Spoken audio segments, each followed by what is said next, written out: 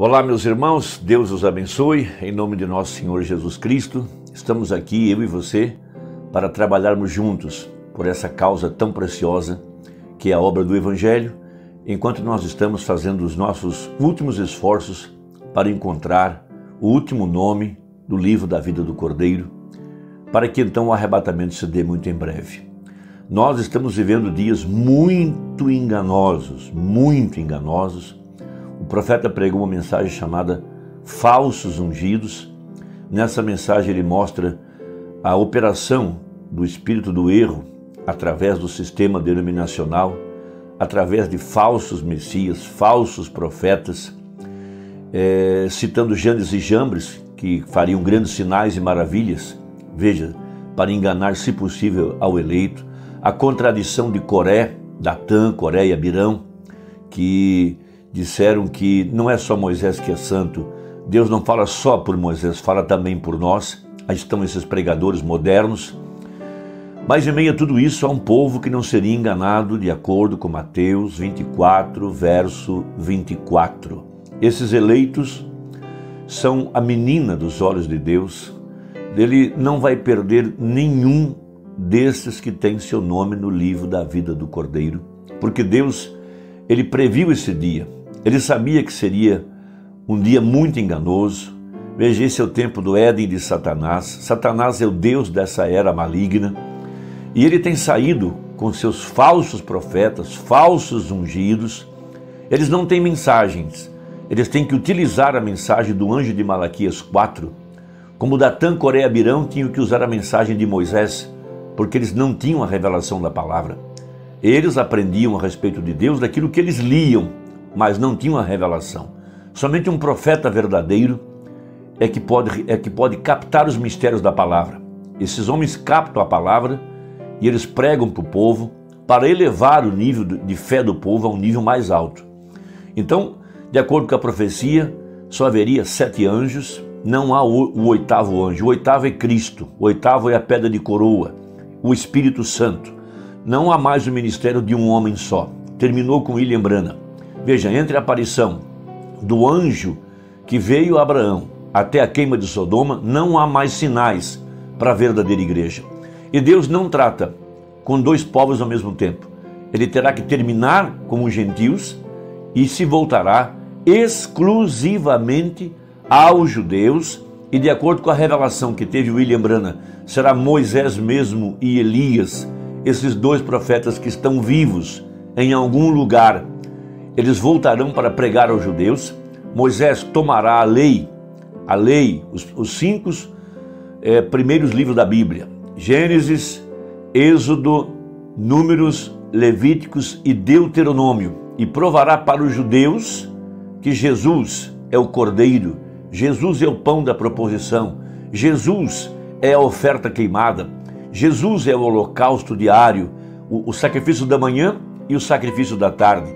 E Elias tomará todos os profetas e provará aos judeus. Veja que o Messias que eles esperam é o Jesus que eles mataram. Vão tomar Malaquias, vão tomar Zacarias, vão tomar Isaías, todos os profetas, especialmente Samuel e vão mostrar para os judeus que Jesus é o Messias que eles esperam. Então veja, a Bíblia falou em Lucas 17 a respeito da segunda vinda de Cristo, que é um mistério tríplice. Veja, o mesmo Senhor descerá do céu, o alarido, voz de arcanjo e a trombeta de Deus. O alarido foi Deus no seu profeta, o Filho do Homem. A voz de arcanjo é o anjo forte, Apocalipse 10. Agora, a voz da ressurreição, chamando a igreja para fora do, da, da sepultura denominacional e em seguida chamando os mortos de todas as eras. E depois que todos os mortos estiverem ressuscitados e nós, os vivos, transformados, veja, ouviremos a trombeta subir cá e juntos subiremos a encontrar o Senhor nos ares, um tipo perfeito de Rebeca encontrando Isaac. Então, em Lucas 17, a partir do verso 20, o Senhor Jesus nos adverte sobre este dia que nós estamos vivendo e ele diz o seguinte: interrogado pelos fariseus sobre quando havia de vir o reino de Deus, respondeu-lhes e disse: O reino de Deus não vem com aparência exterior. Então nós não devemos esperar que isso seja algo visível aos olhos de todo mundo. O arrebatamento é algo secreto. A descida do anjo forte de Apocalipse 10 é algo invisível e secreto. Tão secreto que, de acordo com Mateus 25, a Virgem Nécia, ela ouvia um clamor de que aí vinha o esposo, ela sabia que era o dia da, da, da vinda do esposo, e ela desperta junto com a Virgem Prudente. Mas por ser algo secreto, ela não captou o mistério. Ela saiu atrás de avivamentos, em busca do Espírito Santo, em busca de um líder aqui, outro líder ali. E quando ela volta, ela volta frustrada e viu que ela não conseguiu nada, porque essa descida é algo secreto. Somente o eleito captará isso, de acordo com Mateus 25.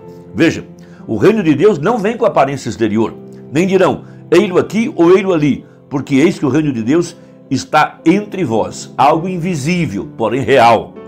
E disse aos discípulos: Dias virão em que desejareis ver um dos dias do Filho do Homem e não vereis. E dir-vos-ão, ei-lo aqui ou ei-lo ali, não vades nem o sigais. Porque, como o relâmpago ilumina desde uma extremidade inferior do céu até a outra extremidade, assim será também o Filho do Homem no seu dia. Mas primeiro convém que ele padeça muito e seja reprovado por essa geração.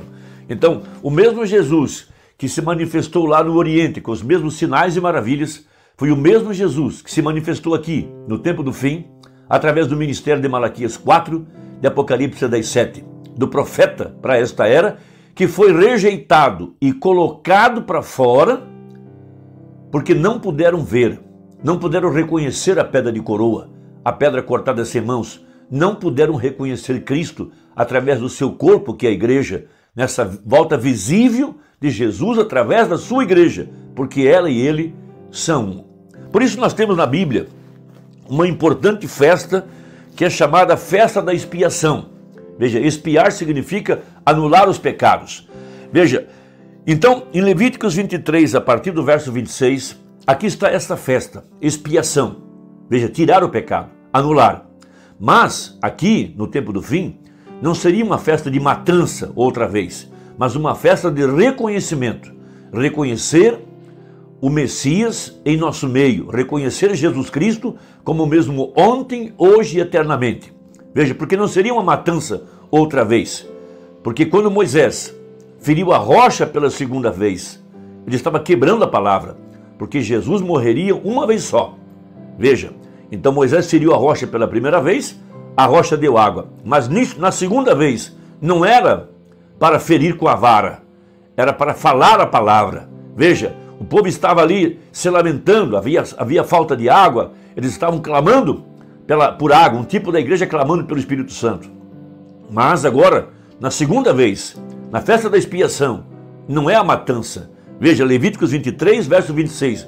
Por isso que o ministério do Mombrana se localiza exatamente em Apocalipse 10, 7, porque tem a ver com a festa da expiação do dia 10 do mês 7 do Velho Testamento. Falou mais o Senhor a Moisés dizendo: Mas aos 10 deste mês sétimo, isso não é uma coincidência, isso foi proposital, será o dia da expiação. Tereis santa convocação e afligireis as vossas almas e oferecereis oferta queimada ao Senhor. E naquele mesmo dia nenhuma obra fareis, porque é o dia da expiação, para fazer expiação por vós perante o Senhor vosso Deus.